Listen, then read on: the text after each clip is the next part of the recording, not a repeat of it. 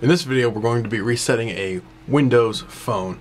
So in this video we're going to be using a Nokia Lumia 928, but this process is pretty much the same for other phones like your Lumia 521 or 1520 etc. So let's get started with the reset. So first you may ask why do you want to reset your phone? Well if perhaps you're trading your phone in, selling it to someone else, or maybe you just want a fresh start with your phone or perhaps it's acting up or something, then you may want to try resetting your phone.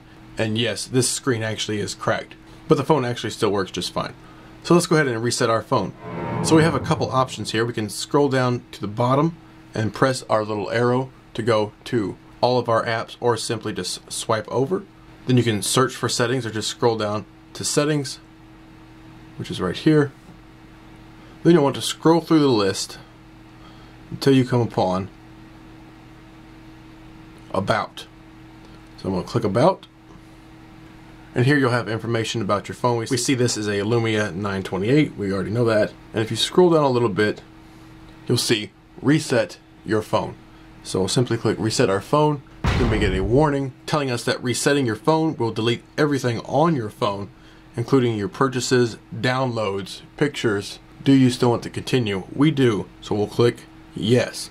Just make sure you're absolutely certain you want to reset your phone because unless you have your content backed up somewhere else, you will not be able to retrieve it with your phone here. So we'll go ahead and hit yes, and it will ask us again, warning, are you sure? We'll click yes, and then it says goodbye, and it's starting to shut down. It's going to reset our phone to factory conditions. And this can take 15, 20 minutes, sometimes maybe a bit less, sometimes maybe a bit more.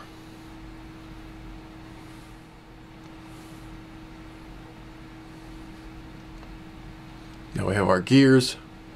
Everything is resetting. So now we just kind of have to wait.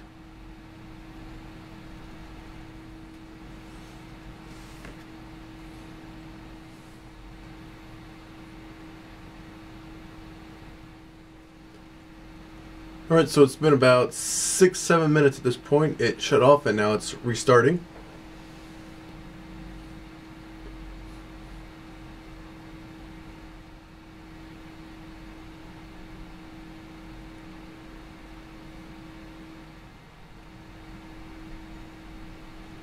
There we go. Now we're getting our Windows splash screen. Then we have a SIM error because we don't have a SIM card in here. So we'll just hit close. Then we go through and we set up our Windows Phone. So that is how you would reset your Nokia Lumia Windows Phone 8 device and get it right back to factory fresh conditions.